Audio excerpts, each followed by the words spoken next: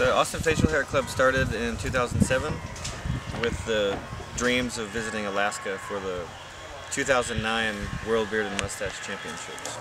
We mainly we started the club so we could um, represent Austin and Texas at these various competitions around the, the globe. And we like we like Austin a lot, and we like to hang out and try to be involved with the community wherever possible. We're one of the most uh, well recognized, mainly because we're in a four of us were in a TV show called Whisker Wars that kind of started a resurgence of beard clubs around the country.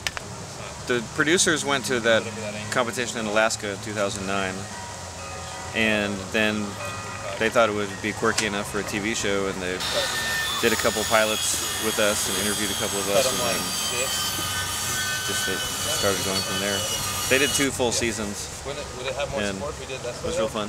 We didn't really think it was gonna.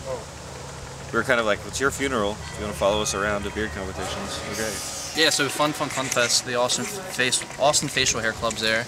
Um, we have a booth set up right now. We're in the process of making the paint boards.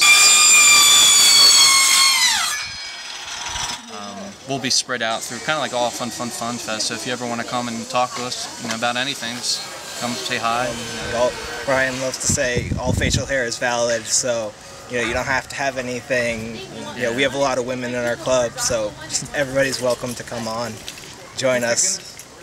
You know, you can just come up to one meeting. If you like it, great, hang out with us. If you don't, so what? Yeah, just have fun.